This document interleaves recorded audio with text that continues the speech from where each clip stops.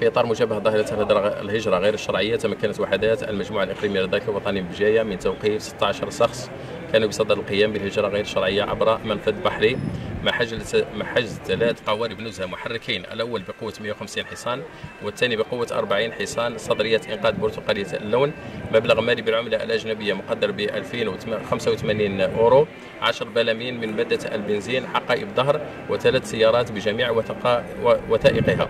تعود وثائق وقائع القضية إثر ورود معلومات مؤكدة إلى فرد الفرقة الإقليمية للدرك الوطني بنكسيلا عن عزم مجموعة من الشباب القيام بالهجرة غير الشرعية عن طريق البحر.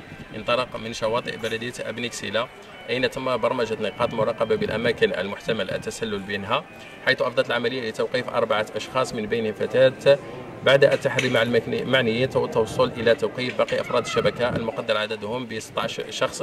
تتراوح أعمارهم بين 21 و 55 سنة. على متن ثلاث قوارب نزهة. المعنيين تم اقتيادهم إلى مقر الفرقة لمواصلة التحقيق حيث تم تحرير محضر في حقهم مع تقديمهم أمام الجهات القضائية المختصة.